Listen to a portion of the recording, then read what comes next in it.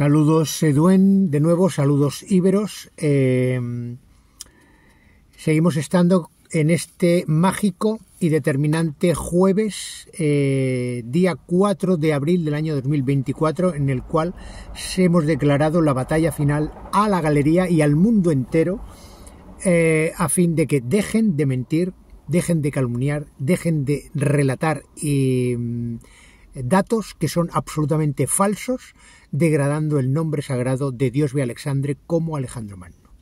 Entonces les vamos a invitar a hacer lo que ya están haciendo eh, otros, algunos seguidores, y les vamos a invitar a que realmente eh, ustedes mm, empiecen a, eh, a emitir, a escribir a los correos que ya les dimos, ahora les vamos a dar con mucha más puntualización, lo que eh, salga del alma y les voy a leer un correo, voy a ir leyendo, voy, voy a ir transmitiendo a todos los demás para que sirva de referencia lo que ya han hecho otros eh, íberos que se sienten eh, descendientes de Alejandro Magno.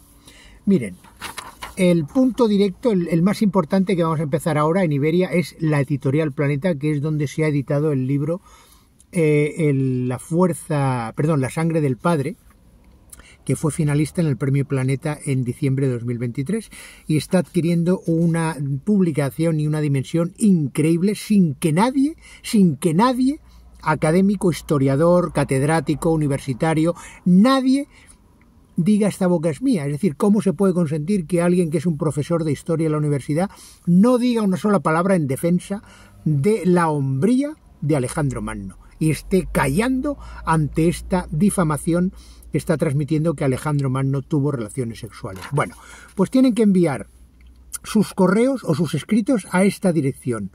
Comunicación editorial planeta arroba planeta.es repito comunicación editorial planeta todo seguido arroba planeta.es y también les invito a que, lo, envíen si quieren ustedes a al programa Cuarto Milenio dirigido eh, por Iker por Iker Jiménez, que es realmente un gran investigador y es posible, yo he sentido esto, que, que él tenga la sensibilidad necesaria y suficiente para entender que si hay tanta gente que estamos transmitiendo esto, es porque él tiene que buscar datos y tiene que sentir que el hombre más hombre que ha habido sobre la faz de la Tierra jamás pudo tener una relación homosexual con nadie, porque es imposible, absolutamente científico, matemático y, de pura biología, que un homosexual, cuando ya ha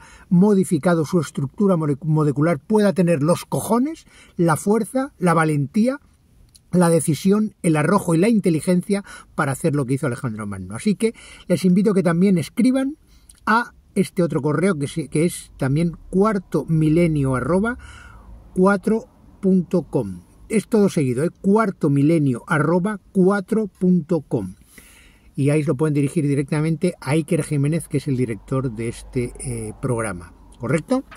Bueno, pues vamos a leer una carta como primera eh, aportación que no sea la mía, directamente lo de Javier, sino que ya hay otro seguidor, otro guerrero, otro combatiente que se llama Julen John, es de Bilbao y tiene 56 años. Y el texto que nos ha enviado es el siguiente.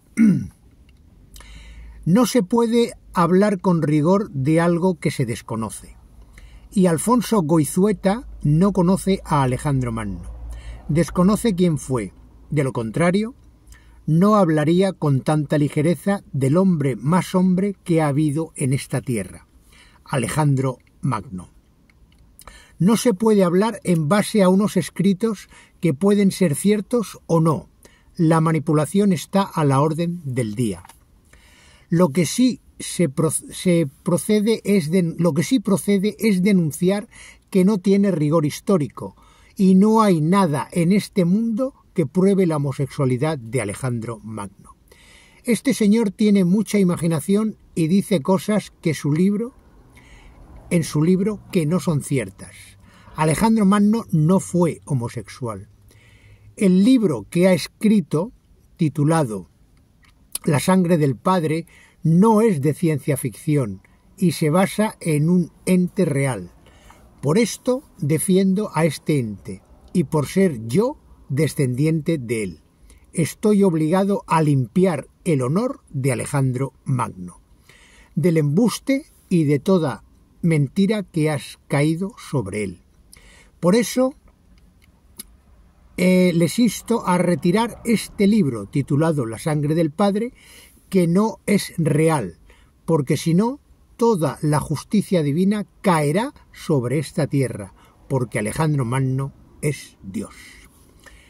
Autor, repito el nombre, Julen John, 56 años, Bilbao.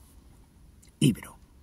¿Correcto? Así que eh, les animo a todos a tomar ejemplo de los, eh, de los seguidores que ya están haciendo suya esta batalla final y que están asumiendo su responsabilidad para no caer en la complicidad eh, infame de no decir nada ante tal ignominia que se está difundiendo con el nombre de Alejandro Magno.